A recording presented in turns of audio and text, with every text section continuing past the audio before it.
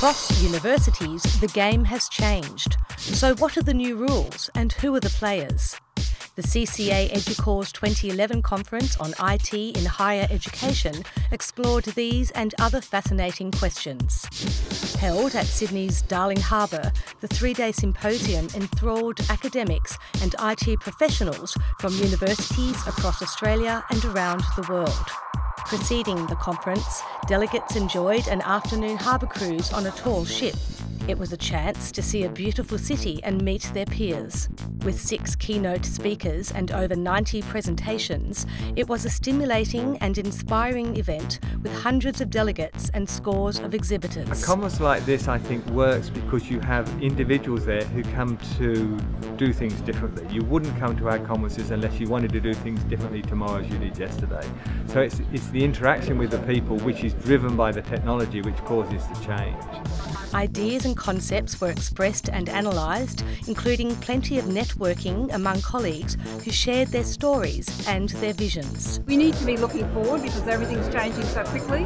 The more um, ideas you can get about how to um, get a handle on what's just around the corner is uh, really important. So um, that's been the value of the keynote speakers today. Central to the conference was a debate over monumental changes to learning and teaching. The very survival of the university was thrown into question.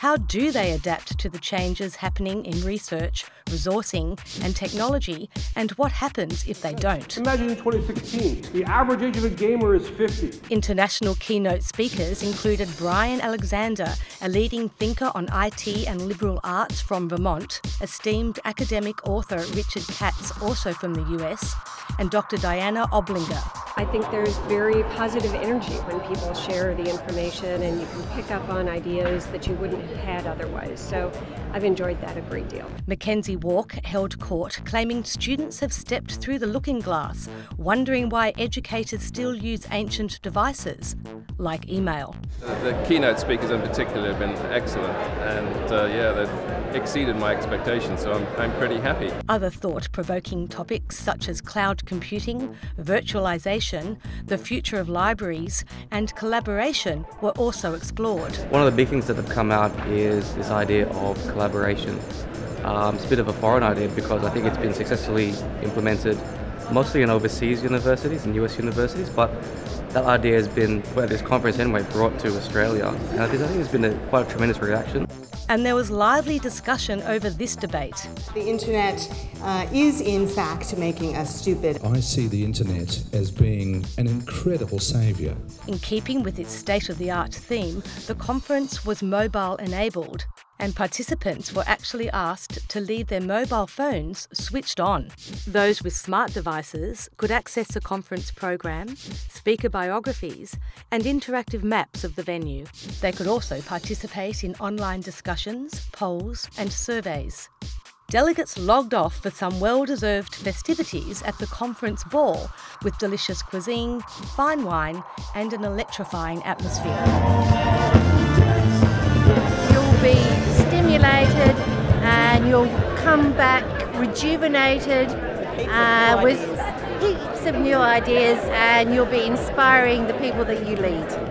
The conference is held every two years, with the next one taking place in Hobart in 2013. Anybody who hasn't been to Tasmania should go. I haven't been, and I will jump at the opportunity. And um, yeah, you, you just got to be there. There will be so many new technological developments. Uh, think about tablet computing, for example. Think about gamification. Think about social media. Think about course management systems. Think about the fate of open source. Think about how the global economy impacts all of this. I mean, things will change rapidly. Get there any which way you can. Um, it's definitely worthwhile. More worthwhile, perhaps, when they've recovered from this one.